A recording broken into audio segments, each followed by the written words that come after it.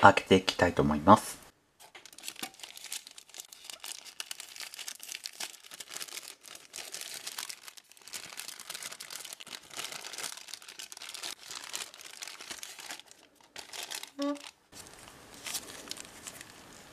こんがりビストロマン。具材が見える進化系中華まんよりスパイス香るカレーと香ばしくもっちりとした食感の贅沢な味わい。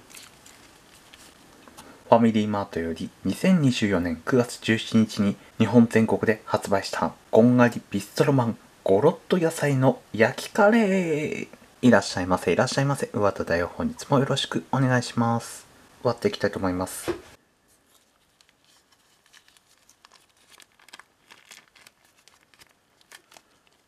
井村屋で作ってますね。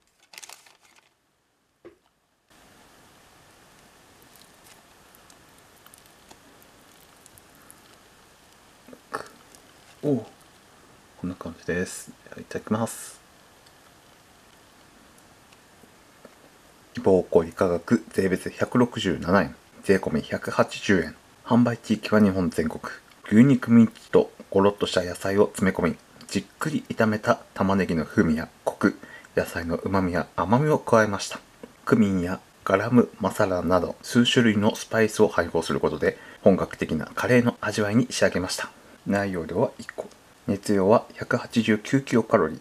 アレルゲンは小麦卵乳成分牛肉大豆バナナ豚肉リンゴ。中華まんです。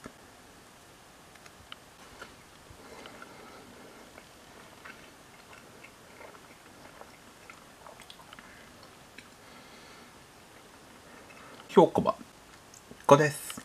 スパイスが若干気になる方はおすすめはしないんですけどもまず具材のゴロッとした食感が感じられる成功にこだわったということで本当にゴロッとした味わいになってました。スパイスなカレーの味わいということでクミンやガラムマサラなど数種類のスパイスを配合していることによってカレーの深みのある味わいが出てた。香ばしくもっちりとした生地も蒸すだけでなく焼くことによりもっちりとした食感だけでなく香ばしさもプラスしたというこだわりにこだわっているこんがりビストロマン。ゴロッと野菜の焼きカレーになってたんじゃないかなと思います。本格的なカレーの味わいのしたビストロマン食べてみてはいかがでしょうか。では